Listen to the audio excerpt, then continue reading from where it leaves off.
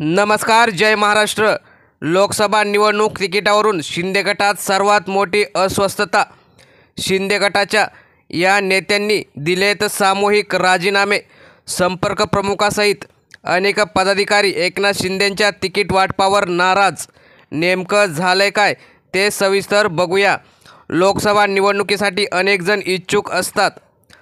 त्या ठिकाणी आपल्या युतीतील पक्षांना तिकीट गेल्याने शिंदे गटातील हा नेता नाराज झालेला आहे.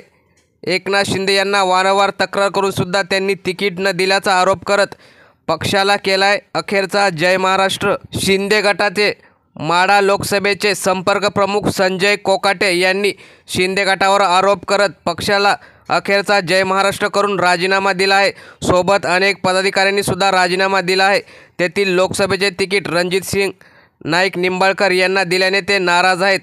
ते म्हणाले की त्यांनी ज्यांना तिकीट दिलं आहे त्यांचं आम्ही काम करणार नाही कारण त्यांनी शेतकऱ्यांचे शेअर्स घेऊन शेतकऱ्यांची फसवणूक केलेली आहे आणि येथील भाजपाला जी जागा दिली आहे ते बबनदादा शिंदे आणि ज्यांना खासदारकीचं तिकीट दिलं आहे ते त्यांचं काम मी करणार नाही कारण शेतकऱ्यांची फसवणूक करणाऱ्या विरोधातच मी उभा राहणार. मी शिंदे गटाचा राजीनामा देऊन पक्षाला जय महाराष्ट्र करत आहे.